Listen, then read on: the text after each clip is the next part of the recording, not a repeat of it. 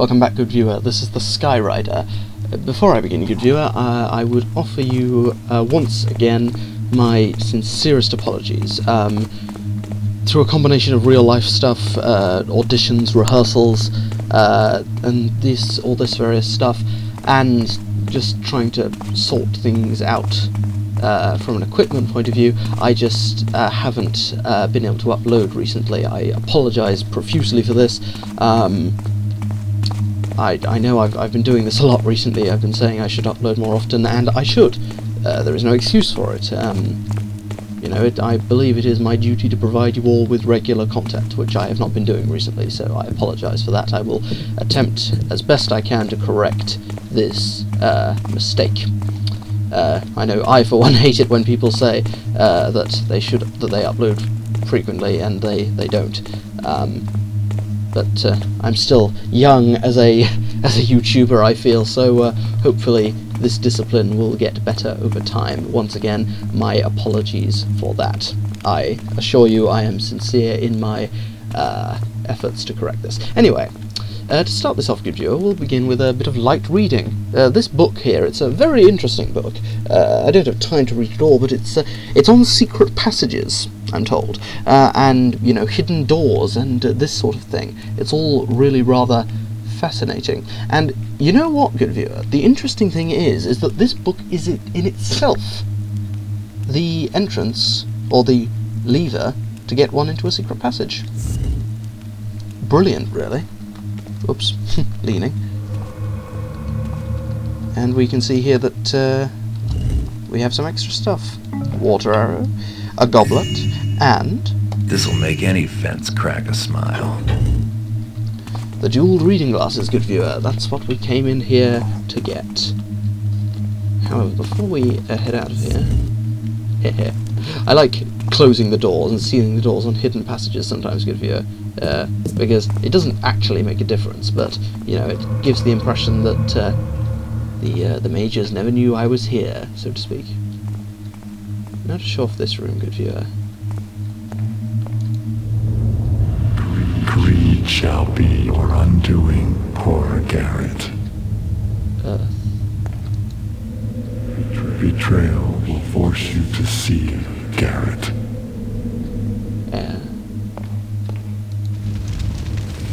Deception is your power, Garrett.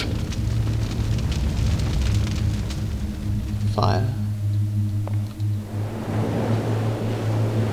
Do not let fear control your path, Garrett. and water. Just a nice little thing here. Doesn't actually really do anything, but you know, it's an interesting little thing that they added. Anyway, onwards to the next uh, thing that we're going to do, which is what is the next thing we're going to do? That's the next thing we're going to do. Excellent. Okay. Going through our cleared out room here. What do we need to find? We need to find the Staircase of Doom. That's what we need to find, good viewer. And this is not the Staircase of Doom. Where is the Staircase of Doom? This is the question that I ask myself every hour of every day, good viewer. Where is the Staircase of Doom? Do, do, do. Ah, this way to the Staircase of Doom, I believe. Yes. Here we go. Staircase of Ominous Doom. Or spooky ominousness. Whatever I called it last time. Yeah, you can hear the spooky noises. Ooh, ooh. Stop it, Skyrider. You're being silly again. Okay. And... Okay, let's get out of water start putting some torches out. These guards here, all rather easy to knock out. Take out those two torches, you've got a nice long stretch of darkness and a nice wide corridor. Down you go, mate. And we'll just dump the bodies by the side here. Now, multiple guards here, so we'll just wait for them. Patience is the virtue of the good thief, good viewer. Which I always liked. No, that was that door. That's, that's one thing I've always loved about this game. You know, you can't. Yeah, well, you know, it, in the lower difficulties, in some cases you sort of can, but you know, philosophically speaking, and on terms of the, uh, in terms of the harder difficulty levels, you can't just rush in and you know kill everything in this game. Which is what I just absolutely love about it. You've got to use stealth. There we go. I know that um, Yahtzee, uh, zero punctuation. What is it with the heads, good viewer? The heads of the guards, whenever you drop them, they always seem to do something funny. I wonder if this one will do it. Yeah, typical, fell at the wrong angle, so I didn't say. But, uh, maybe I'm just going crazy. Uh, but, uh, just something I've seen. Oh well, anyway, it's a minor complaint. But, um, ugh, tile. Is there anybody in here? Ah, hello, madam. Uh, well, actually, it won't matter because she'll be knocked out by the time that we she sees us anyway. What? Ah, didn't pickpocket. Pickpocket her. Oh well. There we go. And over there. Yes, yeah. See, there, did it again. Oh well. More money. And more money. Excellent. Um, yes, Yahtzee, uh, the famous uh, chap, who I'm sure you will, many of you will know, uh, on The Escapist, who does the series Zero Punctuation. If you don't know him, good I thoroughly recommend him. He's uh, hmm, yeah, let's use a moss arrow here, in case I can hear someone snoring. Take that, and we'll just slip out. Sleep tight, Dave. Um, yeah, Yahtzee, the um, the British reviewer who lives in Australia, who has a very ooh, that's a sword, yeah, definitely a good idea to use a moss arrow there. Um, who's a you know his he's known for being very unforgiving and sarcastic and cynical and uh, jaded and all these other things, but you know he's just got a brilliant style. And if you don't know him yet, good viewer, I would thoroughly recommend you check him out. Uh, Zero Punctuation, that's the series. Um, but yes, he once described the Thief series as the only series to have ever done Thief well. Uh, the only series to ever Thief is the only series to ever have done Thief well. Yay! Well done, Skyrider. Um, Thief is the only series to have ever done stealth well. Um, don't know. You know, I don't think I've played enough stealth games really to um, know exactly if I agree with him, but I would say it's a fair comment, personally, because Thief does do stealth incredibly well, and the way it's designed is just very, very good, because some stealth games you fi- I find are very difficult and that there's a, always a prescribed way of doing things. Mind you, one could argue that there's a prescribed way of doing things in certain Thief bits, but uh, there we go. Whoops. There we go. Now, good viewer. This is no ordinary guard who I'll be giving just some random name to. Oh no, good viewer. This is Captain Regalio. And we know what that means. It means... There we go. Uh, it means diamond, but it also means this. The Medallion of St. Burrington. Looks like Captain Regalio's been holding out on the mages. Good thing he can't hold out on me. Excellent. The water arrow on that shelf gives you, but we have plenty of those, and I don't want to risk waking the good captain, so we'll leave that there. Instead, we'll just be a bastard by sneaking into his room and reading his diary. ah, I love being a thief. Recovering the golden medallion of St. Burrington will reward all the sweat I put into the endless hunt for those damned talismans. By selling it, I will surely make some profit off of this ordeal. In all my years of service to the hand, I have never seen their efforts so thoroughly stymied. It's almost as though one of their own had taken and hidden the talisman so completely that not even the archmages can find them. Captain E. F. Regalio. How little you know, mate. How little you know. well, you say that. I say that, but um, and shut the door and let him get back to bed, guys. I say that, but you know, he's cottoned on to the fact that people have been hiding them. Ooh, spooky stairs. Ooh. Um, you know, but he, he's cottoned on to the fact at least that someone's been hiding the talismans. Which, of course, the keepers did. Um, he doesn't, of course, know that it's the keepers. Okay, good viewer. What we're going to do now is we're going to head to the water tower, which uh, we know to be flooded. As we found out last time, good viewer, the each of the four elemental towers holds the key to another one. Um, and we also know that the fire mages in the fire tower hold the treasure key, the uh, the key to the the uh, the the treasure room in the central tower. Just go over and take Omid out over here. Can you go, Omid? And Arian, you can go down as well. There we go. Okay. Dump the bodies there. Um, yes. So, we know that the special treasure uh, is kept within the central keep in the in the treasure room in the central keep. So that's where we need to get to, and to do that, weird heads again. Uh, we need to get into the fire tower.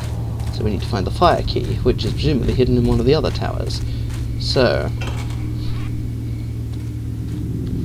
crickets. I do love crickets. I know it's a um, I know it's like a one of the most cliched sound effects out there. You know, it's it's sort of the the Wilhelm scream of um, uh, of like night sound effects. You know, that same cricket sound effect. But I know it's cliched and everyone uses it, but I love that sound effect. You know, I think it's just like I'm always like looking find it because I I just like it as a sound effect. It's very atmospheric you know, you, I mean, it's overused, but in the case of that one, I don't think it matters. You know, whenever I hear a Wilhelm scream, I'm like, oh, that's a Wilhelm scream. But, um, YouTube it if you don't know what it is, good viewer. Um, it's, um, it's basically just stock screaming sound effect. Down you go, mate. Uh, that's used everywhere. It's used in Star Wars, like, multiple times. It's when, it's in the first Star. It's in the first Star Wars film when Luke, when Luke and Leia are on the Death Star and they're trapped um, above that above that that sort of gorge, and the stormtroopers are firing down upon them. Luke then shoots a panel. Good viewer. We will come back to this later. Uh, Luke then shoots one of the stormtroopers, and the stormtrooper feels and goes, "Ah! Oh! I can't can't do it." But you know that is the Wilhelm scream. Um, which if you it's like used in Indiana Jones it's used in just like every film like from when it was from the 50s to the modern times you know it's, it's used so often um, to the point that it's become sort of a meme and a joke really um, interesting little bit of film trivia for you now this is a cool little effect it's sort of a force field that the mages have put up And I remember the, the, the mages said that uh, it's uh, we'll keep the water tower unlocked because no one could possibly get in there. Only the water mages can survive this water. What are you talking about, you muppets? Any fool could swim up here and grab this, the earth key. I, I, I like the towers, good view, the way they're designed, because they're all designed in uh, a very similar manner. Like, for example, they all have a room in them. They all have that same lobby, which then leads up those stairs into this sort of into like past this door and into a room not necessarily filled with water but into that sort of room well that was easy good viewer uh, that's the earth key from the water tower um, by far and away the easiest of the four elemental towers by far and away the easiest so heading to the Earth Tower next, good viewer. Ooh, hello Bob. Careful. You see nothing. Look over there. Go on, look over there. Good man. Oh, oh, oh. Good. Do, do, do, do. And through a door. Hmm. Oh, forgotten this was here. Ooh, silver coins. Many silver coins. I like silver coins. Ah, the life of a thief. Ooh. Ooh, that was close. Do, do, do, do, do, and I believe this is the area of the Earth Tower. Did I just hear something? Never can tell with these hedge mazes. There, see, got it right that time, good viewer. Hedge mazes, not hedge mages, hedge mazes. and I managed to dodge around the hedge mazes and get to the hedge mages. Hedge mazes, hedge mages, hedge mazes, hedge mazes, hedge mages, hedge mazes. I think I've just invented a new tongue twister, good viewer. Many an enemy has an enemy an enemy, but the enemy's enemy is another an enemy. I've tor tormented many people many a time with that one. It's a, quite a common actor warm-up thing. You get you do various tongue twisters to warm up the mouth and the tongue and the movement of it all. And I can do the anemone one, which it's tricky, but because I've done it so much, I know how to do it. Uh, no, wait, that's the Earth Tower, of course. Um, but other ones, like I learned, what was the one I learned recently? Uh, quick cricket, cricket critics, quick critic, ha. quick cricket critics, quick cricket clag. See, I can't, I can't do that one yet. I haven't mastered that one. That's a, that's a rather a nasty one.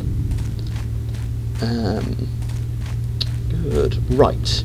Okay, good viewer, and this is the Earth Tower. You can see here. There's this little symbol. Uh, uh, here, where I'm pointing to with my sword. Um, there. Um, on the wall represents that that is the Earth Tower. Uh, so, good viewer, we will go there next time because climbing up this thing is going to be a hell of a lot more tricky than climbing up the water tower, so we'll leave that for next time. Does of course mean that I'm probably going to end up doing the Earth water, the earth, air and fire towers all in one go. Oh well, we'll see. But anyway, we'll leave that for next time. Uh, apologies again for the lack of updating, good viewer. I will attempt to rectify this as much as I possibly can. Uh, yes. So again, apologies for that. Hopefully, uh, you will forgive me. um, yes, and that's all I have to say. Uh, actually, just another thought that's come to my head. Diablo 3, Mists of Pandaria. Yes, I'm a WoW player, and yes, I'm excited for of Pandaria. Screw what the trolls say, I think it looks good. You can complain and whine about vanilla and TBC all you like, it's not coming back. Anyway, um, my views on WoW trolls aside, that's a topic for a whole nother time, good viewer, and I probably opened a can of worms by just by saying that anyway. So, I will see you for the next episode where we will climb the Earth Tower. Speaking of WoW, I've just thought of a good title for the next episode. Anyway, good viewer. I ramble. For a change. Ladies and gentlemen, this has been the Skyrider. Farewell until we meet again.